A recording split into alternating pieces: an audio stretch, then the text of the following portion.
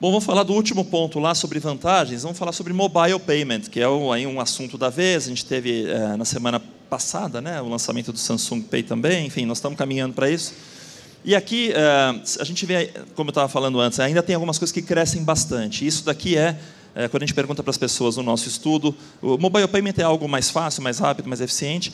E a gente percebe que está quase chegando na metade desse povo aí que diz, não, realmente isso é mais eficiente, mais bacana.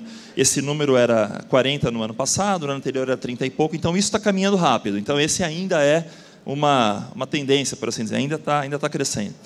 Tem um ponto aqui, né, que é uma frustração, você percebe como eu pago quando possível, porque nem sempre é possível. E quando a gente pergunta para as pessoas é, sobre, é, ok, você gostaria né, de, de pagar mais e mais transações de dispositivo móvel, o que a gente percebe é que o Brasil, assim como a América Latina, tem um interesse grande em realizar pagamentos móveis. Um, porque a demanda é reprimida, a Europa não é tanto, por exemplo. Mas outra coisa é que você percebe que não tem mais tanta diferença aqui entre gerações. É, a geração X, ao qual me incluo, ela já tem um nível muito parecido à geração Y e geração Z. Então, de novo, a massa de consumidores está entrando com essa sensação de que é possível. A pergunta então é, puxa vida, mas por que, que então é tão pouco ah, o pagamento via uh, online? Aqui a gente pergunta, né? Olha, a pessoa fala, não, eu de vez em quando até pago online, isso tem crescido, 2014 versus 2015, mas o grande ponto aqui é a questão de segurança, que ainda é um fato.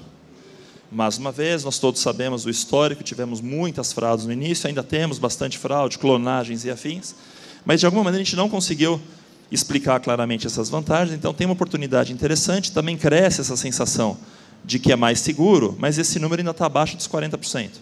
Então, lembrando, Metade das pessoas diz o seguinte: olha, é mais legal, é mais rápido, é bacana, mas 40% ainda diz, mas não, assim, 60% na verdade diz que é o contrário disso aqui, né? Eu tenho alguma preocupação com segurança, tá certo? Então entregar essa segurança é muito importante e eu acredito que a associação com boas marcas, com marcas que têm um histórico de transação, pode ajudar bastante a aumentar esse nível de pagamento dentro eh, dos sites de vocês. Agora a gente vai falar um pouco sobre a complexidade da jornada de compra. É, a jornada de compra ela continua super complexa e, e, a tentativa nossa era tentar trazer algo de simplicidade, mas quanto mais a gente estuda, mais a gente percebe, por isso que o auditório está cheio, a complexidade que é gerenciar um site desse ou um, um processo de compra que envolva online. Esse dado também é, é, um dado dos Estados Unidos e ele diz o seguinte, ó, é, que boa parte, né, dois terços dos americanos que se envolvem com varejista em mais de um canal, eles efetivamente compram uma vez por semana ou mais. Então, o engajamento com os canais aumenta a frequência de compra. E a outra coisa que também é bastante óbvia, mas que o número é bom para reforçar, é, os compradores que se envolvem em mais de um canal fazem compra online neste site é, uma vez por semana ou mais. Então, dois dados que dizem algo muito parecido, ou seja, você ter a possibilidade de se envolver em diversos canais, efetivamente estimula uma proximidade maior com o teu cliente.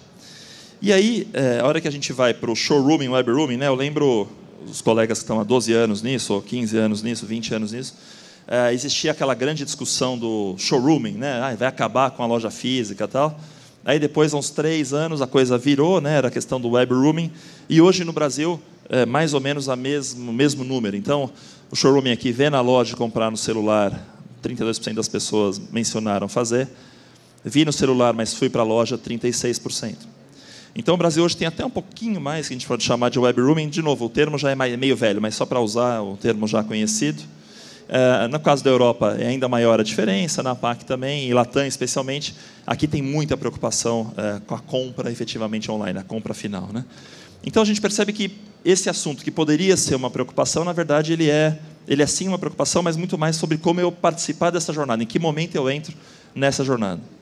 Tá claro isso daí? Tudo bem? A diferença, né? Em cima a gente está falando do show.